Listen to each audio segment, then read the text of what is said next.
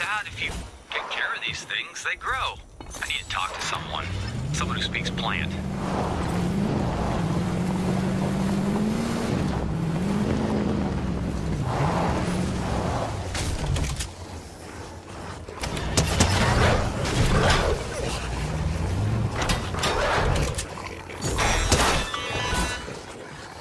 I have a plan to get us a man on the inside of all this reality tree zero point stuff. You've met Bushranger, right? Plant guy, struggles with grammar, willing to sign any release form I give him?